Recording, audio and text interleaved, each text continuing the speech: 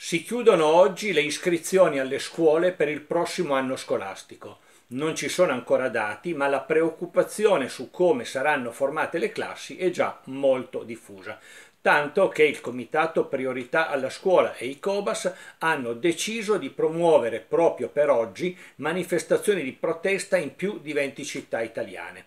Bisogna mettere fine alle cosiddette classi pollaio, sostengono gli organizzatori dell'iniziativa, condivisa peraltro anche da FLC CGL, da Will Scuola, Rifondazione Comunista, Potere al Popolo.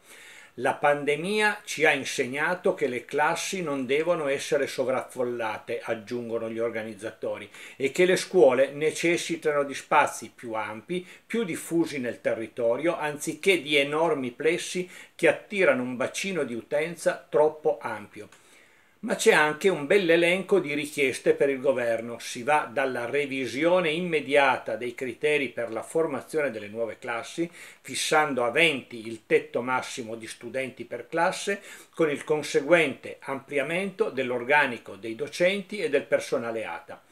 E si parla anche di accesso rapido ai tamponi per tutta la popolazione scolastica e del ripristino delle infermerie in tutte le scuole. L'idea è anche quella di utilizzare i fondi del Recovery Fund per realizzare un vero e proprio piano Marshall per la scuola che riguardi l'edilizia ma anche l'ampliamento degli organici ma su quest'ultimo punto bisognerà convincere non solo il governo nazionale, ma anche gli organismi europei che hanno già fatto sapere che i fondi dovranno essere utilizzati per gli investimenti e non per la spesa corrente e men che meno per il personale. Ovviamente tutto questo sarà oggetto di trattativa fra i diversi governi e gli organismi europei e quindi è anche possibile che qualche spazio si riesca ad aprire.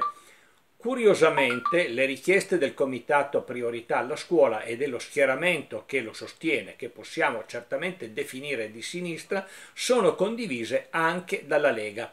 Proprio in queste ore il senatore Pittoni ha parlato infatti della necessità di ripristinare i presidi sanitari nelle scuole e di mettere in atto altre misure per garantire il monitoraggio dell'epidemia negli istituti scolastici. Per la verità però in questa fase gli occhi di tutti sono puntati sulla situazione politica che appare in continua e rapida evoluzione. Tra l'altro per martedì, cioè per domani, è previsto un incontro tra la ministra e le organizzazioni sindacali. Si discuterà del Recovery Fund. Qualche novità potrebbe arrivare proprio da questa riunione, sempre che il governo sia ancora in sella di questo tema ovviamente continueremo a tenervi informati quindi continuate a seguirci su questo canale ma anche sul nostro no rifaccio l'ultimo pezzetto.